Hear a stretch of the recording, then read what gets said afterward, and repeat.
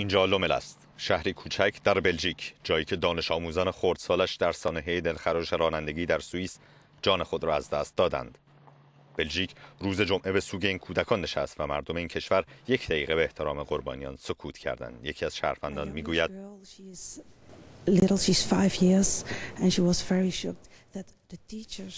دختر کوچک من پنج ساله است. وقتی دید معلم های مدرسه گریه می‌کنن خیلی شوکه شد. وقتی اون چیزایی که تو مدرسه دیده بود رو تعریف می‌کنن. مردم این حادثه رو فراموش می‌کنند؟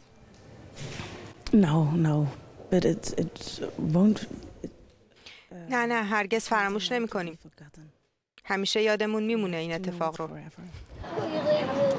اینجا مدرسه است که دانش آموزانش کشته شدند.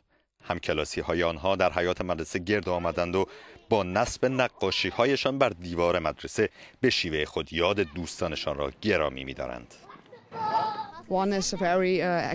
بعضی خیلی تحت تاثیر قرار گرفتن. بعضی آرومترن. مثلا یکی از من می‌پرسه کی مرده کی نمرده. ولی همشون خیلی زود درک کردن چه اتفاقی افتاده.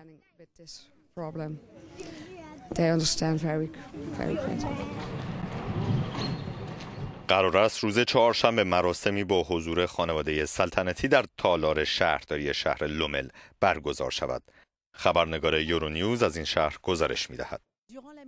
در طول یک دقیقه سکوت دانش آموزان و معلم ها در داخل مدرسه به دور از دوربین ها ماندند.